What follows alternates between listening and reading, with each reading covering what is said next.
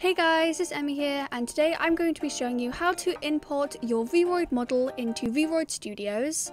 Um, but let's go! So you might have just commissioned uh, somebody to make you a Vroid model, um, and you want to import it maybe into Vroid um, to maybe tweak a few things, add something, um, or just want to import it just to check everything. Now the one thing you need to know is that you cannot import VRM files uh, into Vroid. It won't let you, um, it has to be a Vroid file. But as you can see here in the corner I have, for example, whatever like sort of the uh, person who made your Vroid model names it, it'll be something something uh, and then it will be .rar.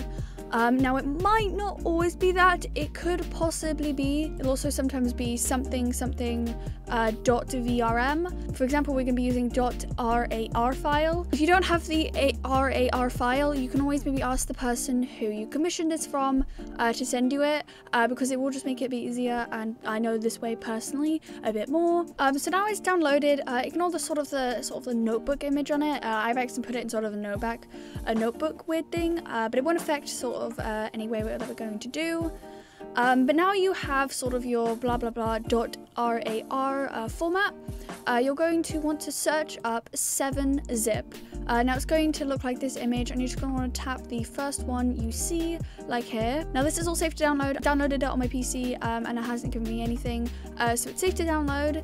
Uh, and then you can choose what sort of you want to download. I just uh, downloaded the 64-bit one. Um, you can choose whichever one's best for your PC. Uh, but I already have this downloaded, so I'm not going to download it again. Uh, but then if we go to files, as you can see, uh, the file is here.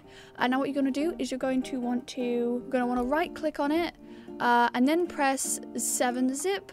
Uh, just like hover over it and then press extract uh, files. So if you just extract files like that, go like here, press OK. And then as you can see, you have this file here. Now, if we just drag this into avatars, like here, and as you can see, we have it in here.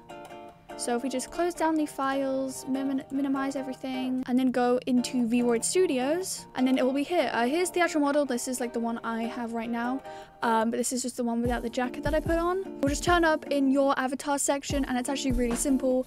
Uh, once you know actually how to uh, uh, and everything. Um, but yeah, I hope you found this video helpful. If you did, don't forget to give it a like, subscribe, and hit the notification bell so you're notified every time I do a video. And comment down below what you would like to see next. Um, but yeah, see you later. Bye!